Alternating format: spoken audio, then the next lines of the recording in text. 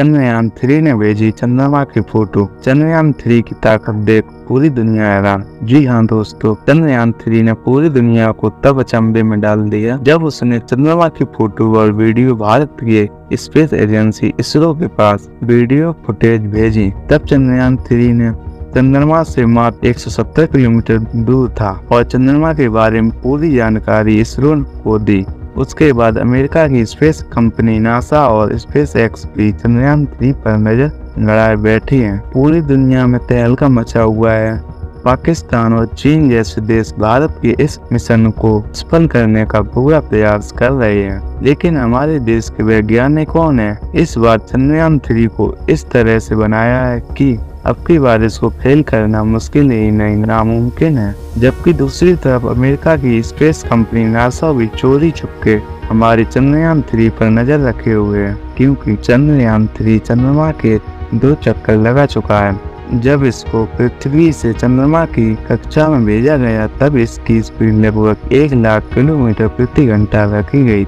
आपको बता दूँ कि चंद्रयान आज से तकरीबन तेरह दिनों के बाद तेईस अगस्त को चंद्रयान की सतह पर सॉफ्ट लैंडिंग करेगा। अभी भी हमारा चंद्रयान थ्री चंद्रमा से तकरीबन तीस हज़ार किलोमीटर दूर है, लेकिन चंद्रयान में लगे हुए हाई रेजोल्यूशन वाले कैमरों चंद्रमा की पहली तस्वीर एंड वीडियो भारतीय स्पेस कंपनी इसरो को भेज दी है आपको बता दें, इस चंद्रयान पर तकरीबन 20 से ज़्यादा कैमरे 240 सेंसर और लगे हुए हैं, जो इसको सही रास्ते पर लेकर जाता है और किसी भी तरह के आने वाले खतरे का लगाकर हमारे चंद्रयान थ्री चाँद पर पहुँचाने में मदद करेंगे। आपको बता दूँ कि 2019 में इसरो ने अपना चंद्रयान टू चाँद पर भेजा था, जिसकी किसी तकनीकी खराबी के कारण सॉफ्ट लैंडिंग नहीं हो पाई थी और न ही उसका रोवर बाहर आ सका। लेकिन उसी तकरीबन चार साल बाद भेजे गए चंद्रयान थ्री ने उसकी फ़ोटो को इसरो के सर्वर पर भेजा।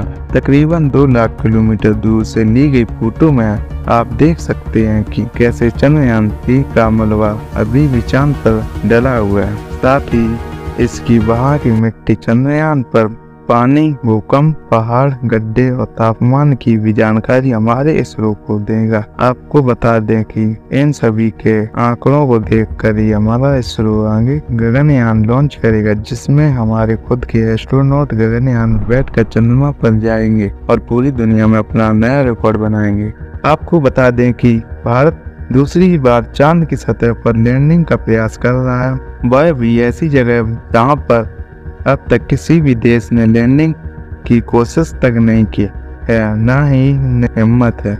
वैसे दुनिया में 11 देश हैं जिन्होंने अपने मून मिशन भेजे हैं। अगर भारत का ये मिशन सफल होता है तो दक्षिणी ध्रुव के पास लैंडर उतारने वाला पहला देश बन जाएगा भारत। दुनिया की पहली स्पेस एजेंसी बन जाएगी इसरो। आपको बता दूँ कि हमारे चंद्रयान थ्री पर अमेरिका, रूस, चाइना जापान ब्रिटेन और फ्रांस जैसे बड़े बड़े देशों की स्पेस कंपनियाँ नज़र गड़ाए बैठी हैं। क्योंकि चंद्रयान चंद्रमा के दक्षिणी ध्रुव के लैंड करेगा जहाँ पर तेज़ी आज तक कोई भी देश अपने यान को लैंड नहीं करवा पाया है कि चंद्रयान थ्री अब कहाँ पहुँच गया? इसरो की तरफ़ से क्या डेट आया है? आपको बता दें इसरो के इस शक्तिशाली रॉकेट में मात्र 16 मिनट के अंदर ही चंद्रयान थ्री को अंतरिक्ष में भेज दिया था। वहाँ चंद्रयान थ्री पृथ्वी के चारों ओर चक्कर लगाने लगा था।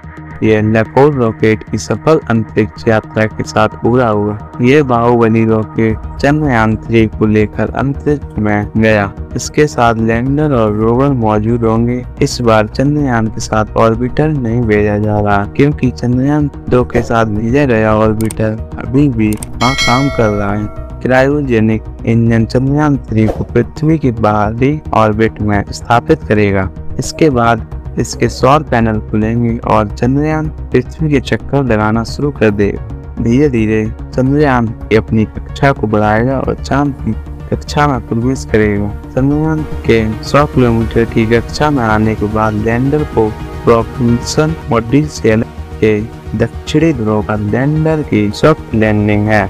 ये मिशन का सबसे जटिल हिस्सा भी है दूसरा टारगेट रोवर का चंद्रमा की सतह पर हलचल करना और तीसरा लक्ष्य रोवर से जुटाई जानकारी के आधार पर चंद्रमा के रहस्यों से पर्दा उठाना है।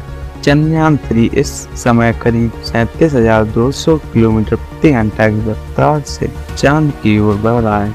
यहाँ से चाँद की गुरुत्वाकर्षण शक्ति शुरू हो जाती है। छत्तीस हज़ार नौ सौ अड़सठ किलोमीटर प्रति घंटे। आज के इस वीडियो में इतना ही। वीडियो पसंद आई तो वीडियो को लाइक, चैनल सब्सक्राइब करना ना भूलें। मिलते हैं जल्दी नेक्स्ट वीडियो में। तब तक के लिए जय हिंद, जय भारत।